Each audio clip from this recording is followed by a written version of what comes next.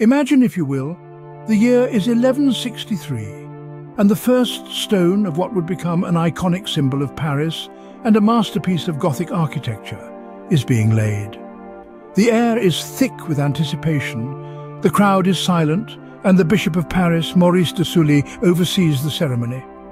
This is the birth of the Notre Dame Cathedral, over the next two centuries, the cathedral would rise from the ground, shaped by the hands of countless craftsmen, stonemasons, carpenters and glassmakers, each individual contributing their skill, their artistry, their very soul to create something truly extraordinary. A structure that would not only dominate the Parisian skyline, but also capture the imagination of the world. Situated on the Ile de la Cité, the heart of Paris, the cathedral was more than a place of worship. It was a symbol of the city's spirit, its resilience, its enduring beauty. It was a testament to the ingenuity of its architects who dared to reach for the heavens, to defy the limitations of their time and create a structure of such grandeur and elegance that it would echo through the ages. The cathedral's architectural innovations were many, but perhaps none so iconic as its flying buttresses. These arched supports allowed the builders to construct higher walls, to fill the cathedral with light, to create a space that was as much a celestial spectacle as it was a house of God.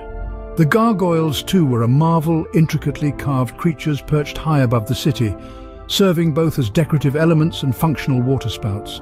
And let's not forget the cathedral's role as a silent witness to history.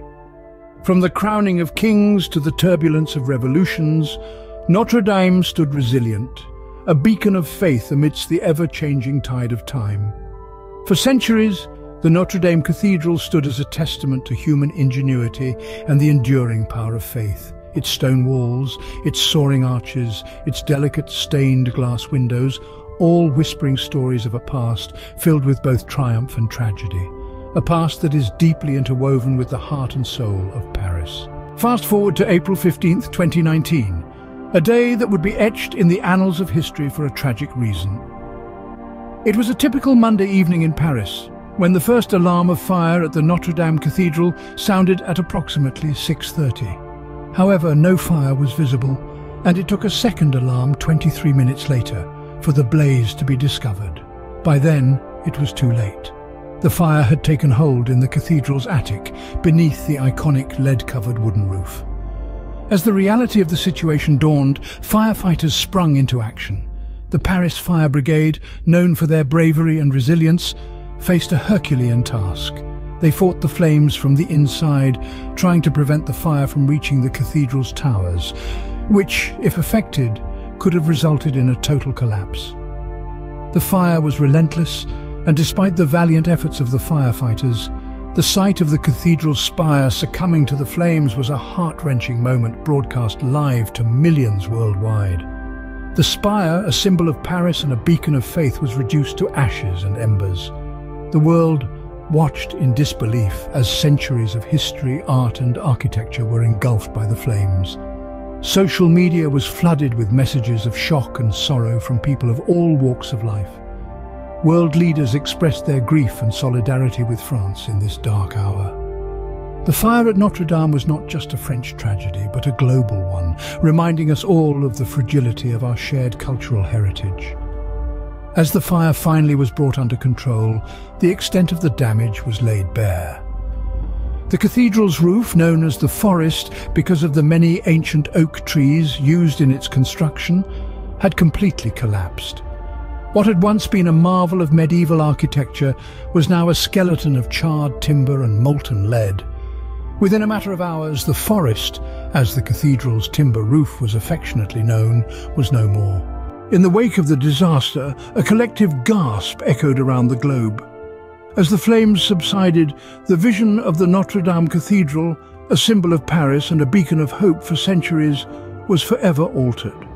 The once majestic spire lay in ruins, the roof had collapsed, and centuries of history seemed to have been lost in the inferno. The aftermath of the fire was a stark testament to the destructive power of the flames. The cathedral's iconic lead-covered wooden roof, affectionately termed the forest, due to its composition of ancient trees, was completely obliterated. The central spire, a feature that had graced Paris's skyline for hundreds of years, had crumbled into the heart of the cathedral. Inside, the high altar was buried under the rubble and priceless artifacts were feared lost. Yet, amid the devastation, there were glimmers of resilience. Crucial steps were taken immediately to stabilize what was left of the structure. Skilled workers swiftly erected wooden supports to prevent further collapse. The cathedral's three rose windows, masterpieces of medieval stained glass, had miraculously survived the blaze. And most importantly, many of the cathedral's relics and art pieces were saved due to the heroic efforts of first responders and cathedral staff.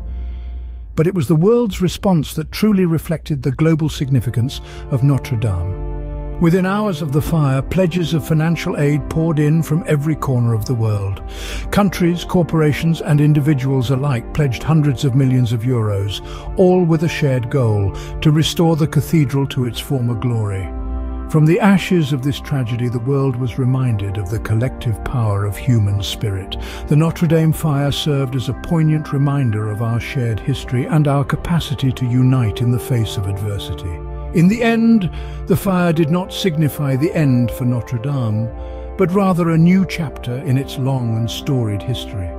From tragedy emerged a beacon of hope, a united determination to restore Notre Dame to its former glory.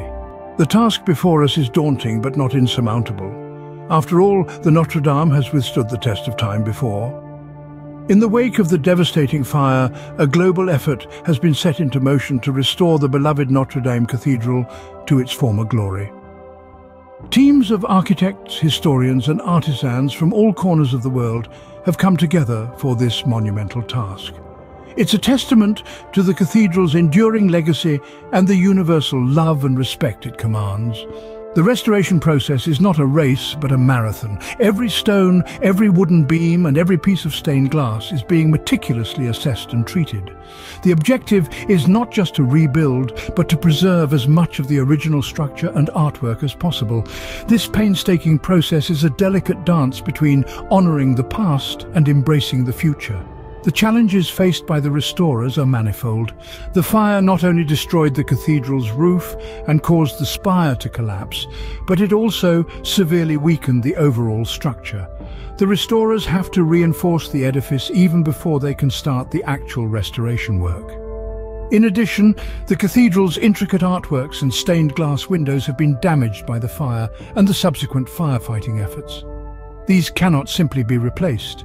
Instead, they need to be carefully restored, a process that requires a deep understanding of historical art techniques and materials. Yet despite these challenges, the restoration effort is making steady progress. Every day brings new discoveries and small victories. Pieces of the original structure that were thought to be lost forever are being painstakingly restored.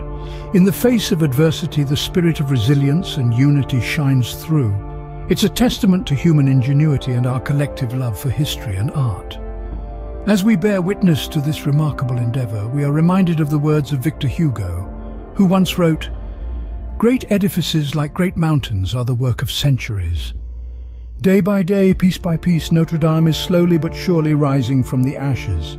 As we look towards the future, the silhouette of Notre Dame may be forever changed, but its spirit remains unbroken. This iconic symbol of France, standing tall and proud through the ages, is now on a journey of revival. In the wake of the devastating fire, plans are underway for its restoration and reopening. Architects, historians and artisans from around the globe are collaborating, meticulously piecing together fragments of the past to breathe life back into this architectural masterpiece. The future of Notre Dame is not just about the bricks and mortar, the woodwork or the stained glass, it's about preserving a piece of our shared cultural heritage.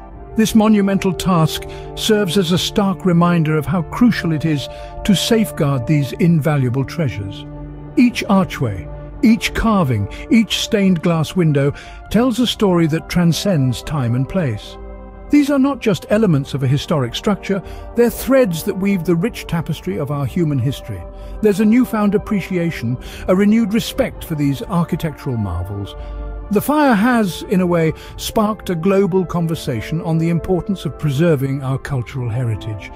People are now more aware, more invested in ensuring that these testaments to our past survive for future generations to marvel at, to learn from, and to draw inspiration. The anticipated reopening of Notre Dame is not just a milestone for France, but a triumph for humanity.